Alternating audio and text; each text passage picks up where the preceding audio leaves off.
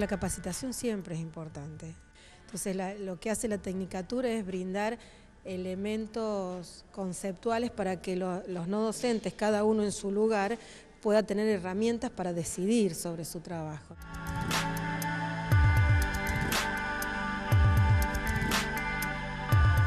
Para todos los claustros la formación es importante. Gente de 40 años que antes no tuvo la oportunidad de iniciar los estudios y que ahora sí está poblando las aulas conjuntamente con los jóvenes que egresan del secundario, primera generación de, universitarios en la familia. Entonces, además este, atravesados por las nuevas tecnologías, ¿no? Esta cuestión de nuevas lógicas para apropiarse del conocimiento, preocupa la relación de los estudiantes con la tecnología, preocupa la inmediatez de las relaciones con el conocimiento, pareciera que si los alumnos leen desde una tablet no están leyendo y, sí están leyendo, la tablet, el papel, el celular son soportes.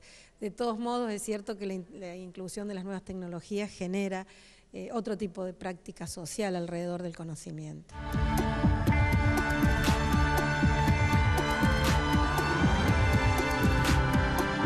La formación profesionaliza siempre, en el mejor sentido de la profesión, ¿no? Pero digo, la posibilidad de saber por qué uno decide cosas, de tener estas herramientas para decir lo hago por esto, eh, o por esta historia, o reconocer qué sucede en tu trabajo cotidiano, que a veces parece burocrático y, y rutinario, pero que tiene que ver con un proyecto de universidad.